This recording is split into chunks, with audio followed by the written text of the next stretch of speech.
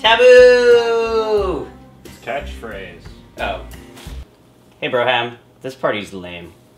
It is lame. But I brought something to save it. Dry ice and black lights. What are we gonna do with that?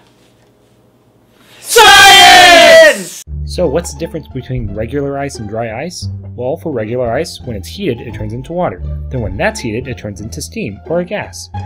But for dry ice, when it's heated, it goes straight into carbon dioxide gas and never really gets wet. Thus the name dry ice. Be very careful, dry ice is colder than normal ice. It's 110 degrees below zero. In fact, this bag of water freezes within minutes. Everybody knows that you can't have a Halloween party without a fog machine, so here at Nugget of Knowledge, we'll teach you how to make one. The first step, you'll want to find a small container with a lid. A coffee can will work great. Next, you'll want to find some plastic tubing, which you can find at your local hardware store. Be sure to drill a hole on the side of the container just slightly bigger than the rubber tubing itself so it fits snugly.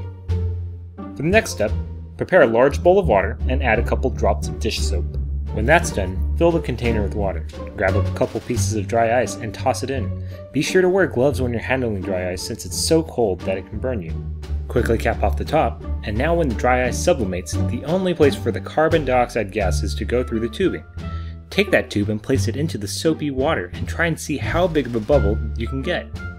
The best part is when you pop the bubbles. The carbon dioxide gas just spreads all over the table, giving you a foggy feel for your party.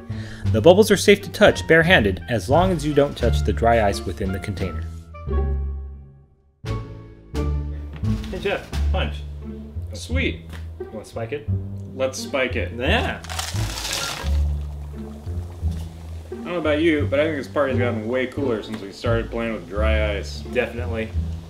Bubbles. Mm, drink some of this. what on earth? I thought there was a hole in your cup. Mm. Cheers! Cheers.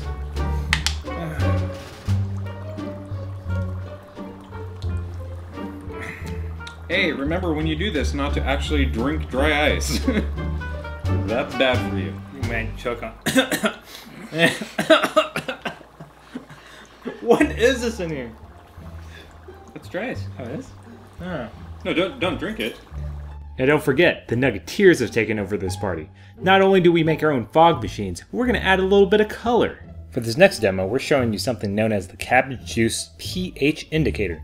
To make the cabbage juice indicator, you're going to take 1 8 of a lettuce, dice it up finely, boil it, blend it, strain it, and then let it cool. In front of us, we've got three glasses of cabbage juice. On the right, we're adding baking soda. On the left, we're adding vinegar. Watch what colors they change. Well, in the middle, we're going to toss in some dry ice. Can you guess what color it's going to turn? Skip ahead 5 minutes and let's see what we get. We see that the cup with dry ice has turned a little pinkish, meaning that the solution has turned acidic.